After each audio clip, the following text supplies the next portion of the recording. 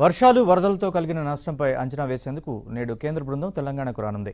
వరద నష్టాన్ని అంచనా వేసేందుకు హైదరాబాద్లో పర్యటించనుంది.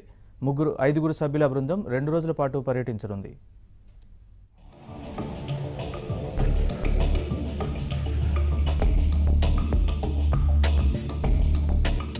గత వందేళ్ళలో కనీవిని ఎరుగని విధంగా కురిసిన భారీ వర్షాలకు హైదరాబాద్ నగరం చిగురుటాకులా వణికిపోయింది వందలాది కాలనీలు నేట మునిగాయి. రోడ్లు ధ్వంసమయ్యాయి. పలు చెరువుల గట్లు తెగడంతో బస్తీలు జలమయంగా మారిపోయాయి. వందలాది ఇళ్ళు దెబ్బతిన్నాయి. పలు చోట్ల విద్యుత్ వ్యవస్థ కూడా దెబ్బతింది.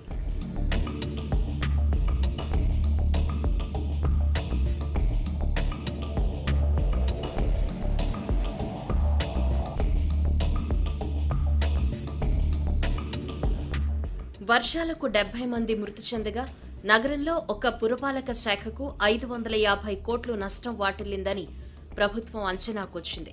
ప్రాథమిక అంచనా ప్రకారం మొత్తం ఏడు వందల ఇరవై నాలుగు కోట్లు వాటిల్లిందని మంత్రి కేటీఆర్ చెప్పారు. సిటీలో ఎనభై కాలనీలు యాభై నాలుగు అపార్ట్మెంట్లు ఇంకా ముంపులోనే ఉన్నాయన్నారు. నష్టపరిహారం కింద దెబ్బతిన్న ఇళ్ళకు యాభై వేలు కూలిన ఇళ్ళకు లక్ష రూపాయలు ఇస్తామని ప్రభుత్వం ప్రకటించింది. ముంపు ప్రభావిత కుటుంబానికి పదివేల పరిహార పంపిణీ కూడా మొదలుపెట్టింది. అవసరమైతే ఈ సాయాన్ని మరింత పెంచుతామని తెలిపింది.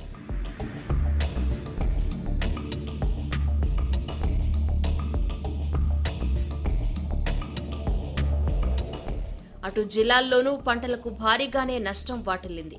నాలుగు లక్షల పదివేల ఐదు వందల ఎనభై ఎకరాల్లో వరి ఆరు లక్షల డెబ్బై ఐదు వేల యాభై మూడు ఎకరాల్లో పత్తి ఒక లక్ష నలభై ఆరు వేల తొమ్మిది వందల పదమూడు ఎకరాల్లో ఇతర పంటలు కలిపి మొత్తం పన్నెండు లక్షల ముప్పై రెండు వేల ఐదు వందల నలభై ఆరు ఎకరాల్లో పంటలు దెబ్బతిన్నట్లు వ్యవసాయ శాఖ ఓ అంచనాకొచ్చింది. ఆరు లక్షల తొంభై ఏడు వేల నాలుగు వందల డెబ్బై ఒక్క మంది అన్నదాతలు పంటలు కోల్పోయారు అని ఒక్క ఆదిలాబాద్ జిల్లా మినహా అన్ని జిల్లాల్లో పంటలకు భారీగా నష్టం కలిగిందని అధికారులు నివేదిక తయారు చేశారు. సగటున ఎకరానికి ఇరవై వేల చొప్పున నష్టం వాటిల్లినట్లు అంచనా వేశారు. దీంతో ఈ ఖరీఫ్ సీజన్లో ఇప్పటి వరకు రెండు వేల నాలుగు వందల ఎనభై ఒక్క కోట్ల విలువైన పంట నష్టం జరిగినట్లు లెక్క తేలింది.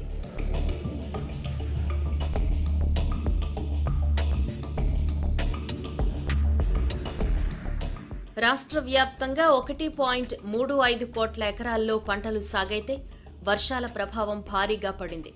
సుమారు పన్నెండు పాయింట్ మూడు మూడు లక్షల ఎకరాల్లో పంటలు తుడిచిపెట్టుకుపోయాయి. అయితే పంట నష్టంపై రాష్ట్ర ప్రభుత్వం ఇంకా అధికారికంగా సమాచారం కోరలేదు. భారీ వర్షాలతో పంటలు నష్టపోగానే ఏఈఓలు తమ క్లస్టర్ పరిధిలో ఏ పంట ఎంత విస్తీర్ణంలో దెబ్బతిందనే వివరాలు రైతుల నుంచి సేకరించారు. ఏవోలు వీటిని పర్యవేక్షణ చేశారు. అయితే రాష్ట్ర ప్రభుత్వం నుంచి పంట నష్టం వివరాలను పంపించాలి అని ఎలాంటి ఆదేశాలు ఇవ్వలేదు. దీంతో ఏఈఓలు పీసీల్లో అధికారికంగా వివరాలు నమోదు చేయలేదు. కేవలం క్లస్టర్ వారీగా వివరాలు సేకరించారు.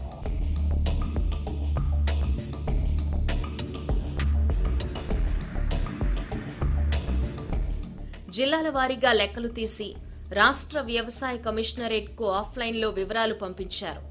అయితే ప్రభుత్వం ఎప్పుడు కోరితే అప్పుడు నివేదిక ఇవ్వడానికి సర్వే చేసి ఉంచినట్లు ఓ ఏడీఏ తెలిపారు. వరి పత్తికి కనిష్టంగా ఇరవై ఐదు వేలు గరిష్టంగా ముప్పై ఐదు వేల చొప్పున రైతులు పెట్టుబడి పెట్టారు. ఇప్పుడు పెట్టుబడి కూడా నష్టపోయారు. ఈ నేపథ్యంలో ఐదుగురు సభ్యులతో కూడిన కేంద్ర బృందం వరద నష్టాన్ని అంచనా వేసేందుకు నగరానికి రానుంది. ప్రవీణ్ వశిష్ఠ నేతృత్వంలోని ఐదుగురు సభ్యుల బృందం తెలంగాణలో పర్యటిస్తుంది అని కేంద్ర మంత్రి కిషన్ రెడ్డి చెప్పారు. రాష్ట్రంలో జరిగిన నష్టాన్ని కేంద్ర బృందం పరిశీలిస్తుందన్నారు. వరదల్లో చనిపోయిన వారికి నాలుగు లక్షలు ఇవ్వాలని గతంలోనే కేంద్రం చట్టం చేసిందన్నారు. కేంద్ర హోంశాఖ సహాయ మంత్రి కిషన్ రెడ్డి కేంద్ర సాయం అందేలోపు ఎస్డీఆర్ఎఫ్ నుంచి ఖర్చు చేయాలని కోరారు. దీనికి ప్రవీణ్ వశిష్ఠ గారు అనేటువంటి government of India home affairs department నుంచి జాయింట్ సెక్రటరీ సీనియర్ ఆఫీసరు ఆయన నేతృత్వం వహిస్తారు. ఇందులో ఫైనాన్స్ డిపార్ట్మెంట్ నుంచి ఒకరు అదేవిధంగా ఇందులో నుంచి అగ్రికల్చర్ డిపార్ట్మెంట్ నుంచి ఒకరు జలశక్తి నుంచి జలశక్తి విభాగం నుంచి ఒకరు roads and buildings national highways వీళ్ళ నుంచి ఒకరు.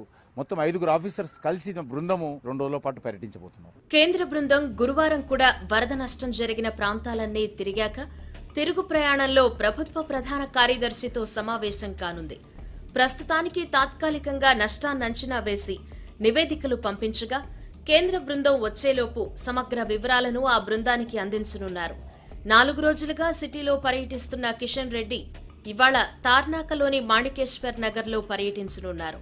మెట్టుగూడ అంకమ్మ బస్తీ శ్యామలకుంట మహమ్మదీయ హాస్పిటల్ కోమటికుంట ఓల్డ్ ప్రేమ్ నగర్ నరేంద్ర నగర్లో పర్యటించనున్నారు. సాయంత్రం జీడిమెట్ల ఫాక్స్ సాగర్ చెరువును పరిశీలించనున్నారు.